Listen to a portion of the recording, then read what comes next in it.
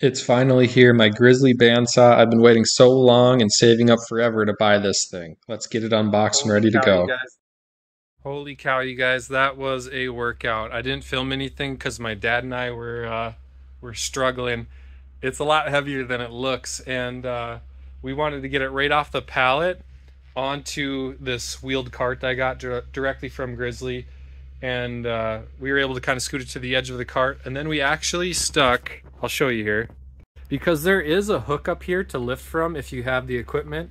Unfortunately my doors are too short for the tractor to fit in here so we couldn't lift from that hook. So instead we put a piece of the shipping foam underneath here and then ran a oak 2x4 underneath so that my dad and I from both sides could lift with like our shoulder. And we scooted it inch by inch onto the cart and it finally dropped right into place. So here it lies. It came with these two bags underneath the table in this bottom pulley compartment. These just twist open and they uh, were shipped uh, like this. Looks like I'm gonna have to flip this around. That ain't good because I'm hitting this wheel. If I ever have to do maintenance on the uh, the bottom pulley or those wheels, I'll have to uh, shift this around. For now, it's not moving. Hopefully I don't have to do anything down there. It came with this box here, which looks like the uh, fence. And then this here, which is the tabletop. So I'm gonna get started opening all these bags up and figuring out what the first step is. The very first step in assembly is going to be attaching this adjustment screw onto this knob right here, there's one side of it that is flat, and that's where the set screw, which is already in place, uh, will get tightened down onto. It comes with an Allen wrench, which is kind of nice. So you just slide this on. Number two is to grab the longest bolt in the package and then thread the nut on there about halfway up the bolt. Then you're going to take this. This is going to be the positive stop for your table. When you tilt it, you can get it to positively stop at 90, so it's adjustable and this goes right here. So I'm going to thread this on there.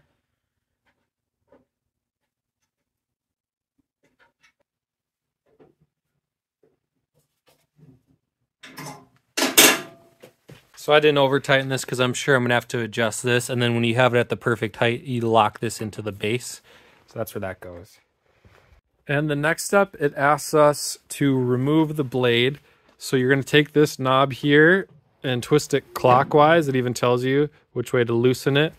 And then we are going to open both of these doors.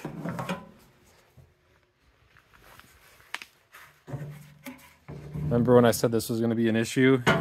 Son of a bitch. We'll see if we can get it without uh, shifting this apart because I can't lift this by myself. All right, I was able to tilt the whole saw back a little bit, just enough to get this door open while I'm working on it. Note to self and anybody out there, this is a great card. I'm really happy with it. It seems really solid. But these foot levers, which my dummy butt thought would go on the front, they go on the back. Once that tension is all loosened up, the blade just slips right off of these wheels. You have to guide it out and away from this piece here as well as this piece here. So once you get it out of those two uh, shields, it pops right out of there.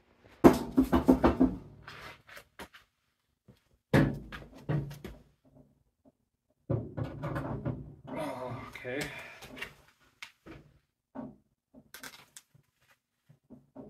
That wasn't so bad. And then I think it just has four bolts and lock washers that go up through the bottom and into that table.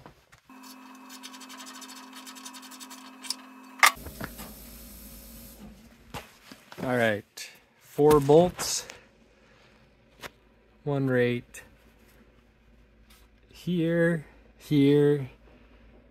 It's really dark, but there's one on the back side, and then the fourth one is right there. All right, next we're gonna start working on the fence to the saw. There's two hex bolts and they provide the hex wrench for you. And you put the bigger hole, so there's two holes in this square tubing already mounted the first one. You have the bigger hole facing outward and then you just thread this right into the cast iron table base. And I make the mistake so you don't have to. Don't put that rail on the front, put it on the back, and then take this fence with our ruler on it, or our measuring tape on it, and this gets bolted on to the front.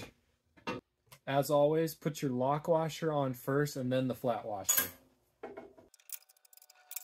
Up next, uh, you're going to work on the fence itself. This doesn't come attached, so we're going to screw that into place.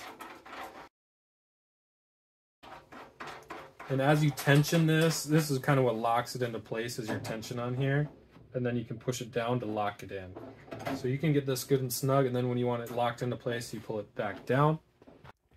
So the next thing we're aiming for is an even gap beneath the fence all the way across. And to do that, you adjust this little tab here. I had to lower this down a little bit so that it raised the fence up. And I think I have a pretty similar gap all the way across. All right, next up, you're going to grab this threaded knob.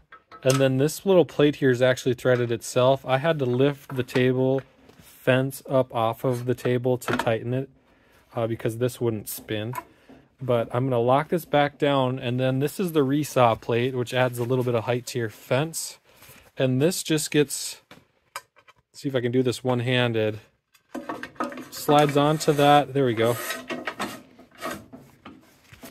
Might have to loosen it just a little bit.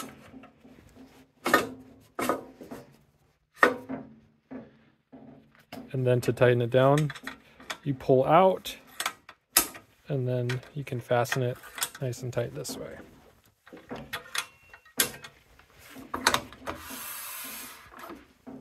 Once I clean up all that grease and get some wax on here, it'll be a lot more smooth. Frozen grease is some nasty stuff. I might have got a little carried away with the WD-40 here, but apply a good amount and let it sit for a few minutes and this will eat right through that grease and you can wipe it right off.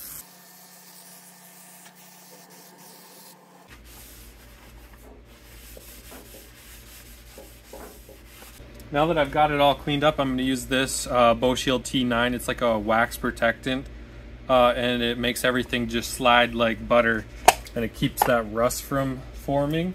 So I just put like a thin layer over it. Maybe a not so thin layer. And then I just buff that in with a clean rag and then let it cure overnight. I highly recommend that you use this on pretty much any cast working table in your shop, especially your jointer and planer. Just makes them makes your boards slide across it so much easier. There's way less resistance. And on top of making it easier to use everything, it prevents that rust buildup. So highly recommend it. Look at that. Beautiful.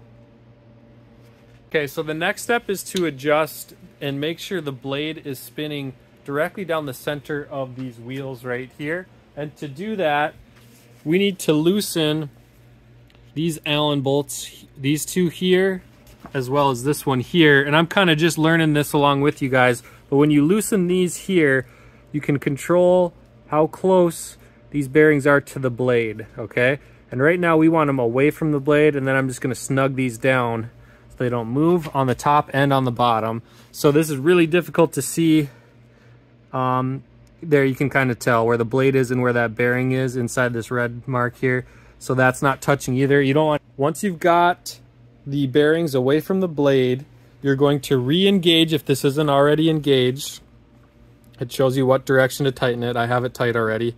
You'll kind of feel it hit a stop there. Then you're going to add some tension until you get this point between the four and the six. And I believe that this is our tension knob right down here.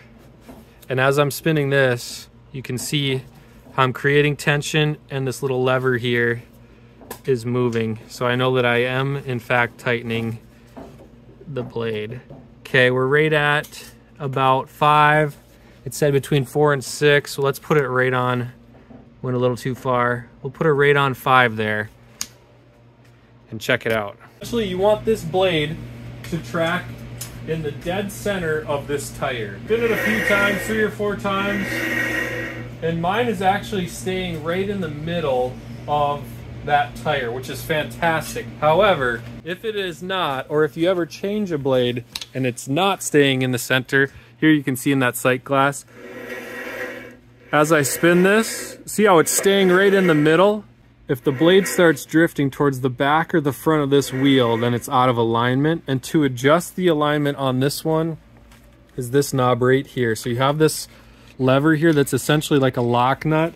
And then you just turn this in or out. And this is going to adjust the tilt of this top wheel. And you're just gonna do micro adjustments because a little does make a lot of a difference or a lot of difference every micro adjustment you make, spin it two or three times and watch that blade and you'll start to see it track one way or the other and then just kind of fine tune it. And when you're happy with it, cinch this little locking lever back down. So I'm gonna lock that in tight because I'm really happy with how mine looks.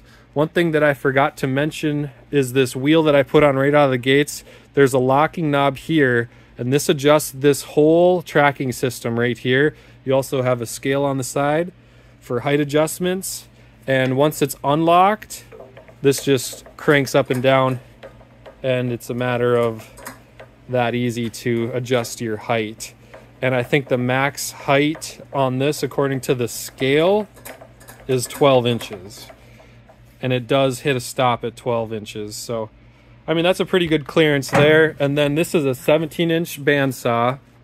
So that means that from this point to this point is 17 inches. So I don't know how well this will show up on camera, but it's a massive machine. I mean, I don't have a very big shop and it's hard to give you any point of reference, but I mean, there's my SawStop back there. And then here's my, my workbench over there. I mean, it's a pretty big footprint. It's a massive machine. It's built solid. And uh, I can't wait to fire this thing up. Uh, I think the very last thing to do is get my power hooked up. They bring this along with and they say that after you put your blade in, you're supposed to put this in uh, to help keep the table aligned with itself since it's split right there. Apparently this helps keep it aligned. So put that into place and we're ready for power. All right, I lied. We're not quite ready to fire this thing up. We have to align the tabletop to the blade. And as you can see, we're not quite square. We're off by uh, just about an eighth of an inch. See if that'll focus. There we go. So to adjust the table now, you've got these two locking knobs underneath the table and these just kind of ratchet. This is that the one that locks the table into place and this one actually is supposed to move, there we go, move the table itself. There you can see we are nice and square. Maybe from this side it'll be a little bit easier. No gap at the top or at the bottom, nice and flush. Got that locked in, so now our blade is perfectly square. So next we want to get our guide bearings back into place, and what we want out of this is a 16th of an inch on each side, so you don't want those bearings to be moving when this is just going straight up and down, but you only want them about a 16th away. You only want this rear bearing, which you can't really see, a 16th inch away from the back of the blade. And then you only want about a 16th of an inch between the gullet of the saw blade and the front of this bearing. A little bit more, actually, in my case. So that when this blade gets tension and gets pushed back, I'm hitting that back bearing, but the gullet or the blades or the teeth on my blade are not hitting those bearings. You don't want these teeth hitting the bearings okay? Do that exact same thing on the front or on the top as you did on the bottom. There you can kind of see we've got pretty much an even distance on both on the top. And then it's really dark down here. I doubt this will show up on camera, but we're really similar down below as well. Tuff's giving me kisses while I'm down there. Good boy. A quick and easy way to make sure that your fence is square to your table is to lock your fence into place and then measure to the miter slot at the front and at the back. So this is the bottom of the ruler here and it is just past seven and a half. and at the back here, we're sitting at about the exact same. So there might be a 30 second off from the front to the back, but for for a, a bandsaw, that's good enough for me. The one thing that I'm not happy with, and there's probably a way to fix this. If you know in the comments below, please let me know. So I have my fence at the zero mark, okay? And then I got it locked in. But this scale right here is showing that my zero is way over here and I'm somewhere past an inch over here, an inch and three eighths about. So you know, I was kind of looking around like maybe there's a way to adjust this piece here, slide it over a little bit, but this just seems to be like a sticker on here that's already adhered to this surface. I don't really want to peel that up and risk it not sticking anymore. Maybe there's a simple way to adjust this. I don't know. Please let me know if you do know, because I would like to be able to use this as an accurate size reference like I do over on my SawStop. And the second thing that I'm not too thrilled about is that it doesn't come with the actual plug. Now this machine is wired for 220. It's capable of being wired at 110 as well, but it does not come with a plug. I bought those two Grizzly machines and they both came with the plug included. So just something to be aware of. I understand that everybody's shop has different plugs and outlets, but this is the style that I have in my shop. And I just had to go out and buy this. They're not uh, they're not expensive by any means, but I was prepared to have this thing up and running the first night, and here I am. Uh, I had to run to the hardware store the next day and get this. So if you're going to buy this machine, just be prepared. Uh, you also have to buy a plug that fits your shop to whatever that might be. And I'm not an electrician, so I probably shouldn't even show this. But if you have this style of a plug with the ground facing up, the black goes on the right and the white goes on the left just like this diagram shows here. Just make sure you put this on first before you, you wire up the actual plug itself. Otherwise, you have to take it all apart again when you're done. All right, well, it's the moment of truth. I wheel it over. Uh, this isn't obviously going to be where I permanently place this, but it's the only outlet I have at the moment. So we're going to fire it up, and you and I are going to find out together if this thing uh, explodes or if it runs the way we are hoping. So here goes nothing.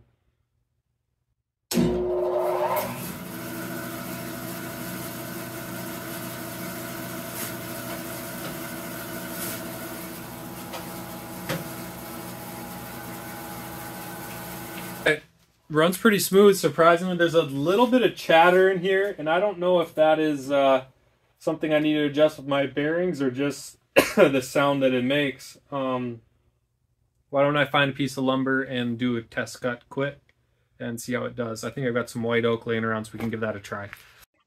So here's the very first cut on this saw. I found some 8 quarter white oak and I just did a random cut without using the fence or anything just to see how it would do. I have to admit there is some chatter in the blade right now and I'm going to get to the bottom of that and try and get it to smoothen out and straighten out as best I can. Then I threw on my resaw blade and cut through this four inch thick white oak. Uh, this is what I pretty much bought the software is for resawing lumber, and this worked very well. All right, guys, I hope you enjoyed watching me assemble this and make my first few cuts on it. I'll be putting this to the test in the uh, near future, and this thing will be in here for quite a while. I think that this is a very solidly built unit. I truthfully am saying that I'm not sponsored by Grizzly. I paid my own money for this thing. Now I'd give it like a seven or eight out of ten. If I can if I can fix that vibration issue, I'll be super happy, and that'll bump it up a little bit. Thanks a ton for watching. I hope this was helpful, and I'll see you on the next build.